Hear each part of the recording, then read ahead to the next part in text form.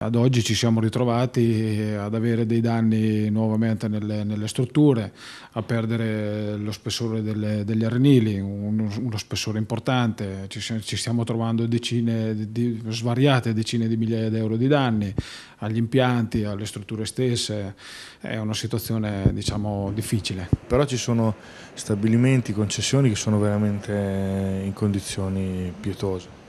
Sì, in effetti ci siamo trovati in questa situazione dove abbiamo degli stabilimenti che hanno retto meglio diciamo, l'urto del, del, mare e questo è accaduto dove siamo ben difesi dalle, dalle barriere eh, delle scogliere.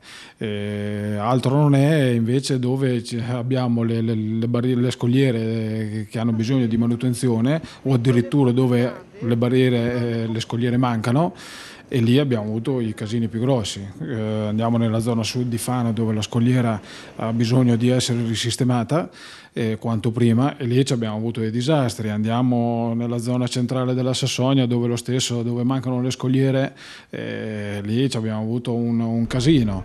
Eh, stessa cosa a Gimar, Arzilla, ugualmente dove le scogliere hanno bisogno di essere ripristinate o comunque sia rifatte e lì abbiamo avuto questa, questa, diciamo, queste problematiche maggiori.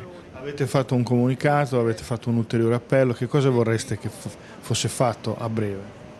Ma noi, come diciamo sempre in tutti gli incontri, vorremmo quanto prima che tutte le parole che vengono sempre spese si trasformino nei fatti il più velocemente possibile.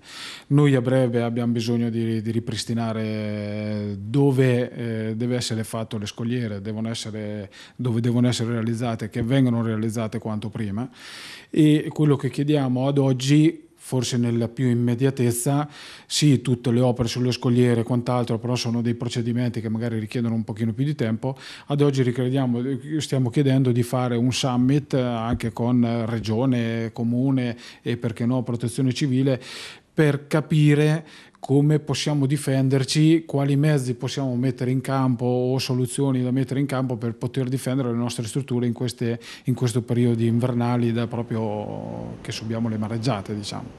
E, e, quindi noi oggi chiediamo anche sì le scogliere ma eh, dateci la possibilità di poterci difendere con eh, le dune che stiamo facendo, eh, sacconi che stiamo mettendo, ci sono altre soluzioni, non lo so, ragioniamoci, però incontriamoci, aiutateci a capire come possiamo eh, imporre un rimedio per poterci salvaguardare da queste mareggiate. Insomma.